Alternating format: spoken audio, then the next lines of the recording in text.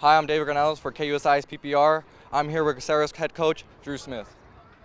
How, How you doing? doing? I'm good, man. Yeah. I'm good. Thanks for having me. How's it transitioning uh, from offensive coordinator at Patrick Henry to now head coach at Serra? Uh, it's been a big change. I, kn- I knew it was going to be a lot of administrative stuff that I had to learn, and um, I'm learning on the fly. But it's been good. I mean, the reason I became a teacher is to be a head football coach. and got the opportunity now, so I'm uh, I'm really excited to be here and to get it going in my first game. That's great, coach. What was your first message to the guys?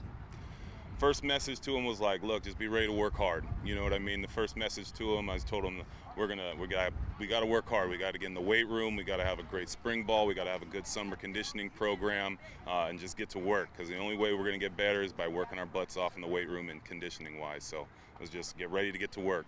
And how's Serra treating you so far?